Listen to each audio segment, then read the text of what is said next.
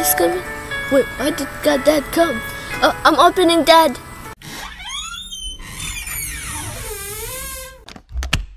oh urahoye urahoye fiston Hi, Dad. oh ndaho mwana wanjye ndakomeye Mm, nje mfite ubwoba ndeba ntari inyuma nizeye ko aya masaha mama nawe hari Eh, oh reka mbe nicaye ariko nari ngukumbuye we ni uko usigaye ungana ubuse ko usigaye warabaye akagabo umwana wa oh maze igihe kirekire none se eh, koko mama nawe hari ubu ngubu eh, yagiye eh. yagiye hehe Yagiye ku- gushapinga. shopping Eh. oh ok noneho reka nicare hano gatoya Eh. eh, kuko ndumva nanashonje mfite Eh. n'inyota n'inzara Eh, I had some food and water in the fridge. In the food, no water. Eh, ni byo Eh, reka nicara ahangaha gatoya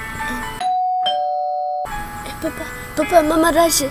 Papa, Mama Raje. mama araje Eh, umuntu eh, mama re and steps agiye kujya oh, hanze ah, mama uhagaze kugirisha niwe uri kureba? Eh. Oh, reka nje hano mpunge kuko sinumvise ko ngo abapolisi basanze hano bahita barakufunga eh. Oh, ariko mani ibintu abana banjye bazi. Ariko mani ujye tubabarira no kushya reka nje hano reka nihute umukingurire adahera ku rugi eh, akanagukubita fison. Hmm, What's that? Where? I'm coming, Mom. uwo niwe uwo niwe numvishe avuga Eh, kandi kuko nijwi rye nanumvishe reka ngende hano hano niho hafi ku rugi ndahageze reka nsohoke gatoya reka ngende Eh, urabeho bayi fiston ndagukunda bayi Papa, bye.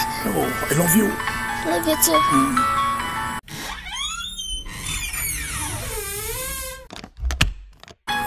Mom, I'm opening for you. Hi, Flixen. How was your day? Good. Oh, are you sure? You seem a bit upset. Are you sure? What's wrong? No, it's nothing. Oh, um, okay. Well, anyways, I brought you some cookies and I bought you this toy, and you can eat the cookies after you finish eating your dinner, okay? And also, I want to talk to you about something. Make sure you don't let anyone in the house, anyone in the house while I'm out. Even Dad? Yes, even dad. We have a divorce, so you can't let dad in the house either.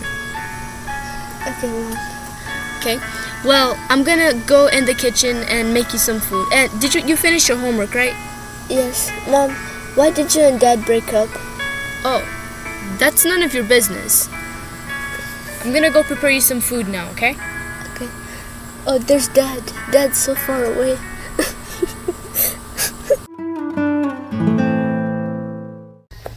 kuva uyu munsi ikiganiro ntawamenya kibateguriye filime radiophonique iyo filime yitwa amahanga arahanda. Uyu munsi ni episode 1 turahamagarira gukurikirana iyi filime kandi mukayisangiza abandi. Filime mwumvamo ntawamenya ubwe madamu ntawamenya witwa stella brain wood kuko ari umunyamahanga na fisto nk'umuhungu wabo ndetse muzumva n'abandi.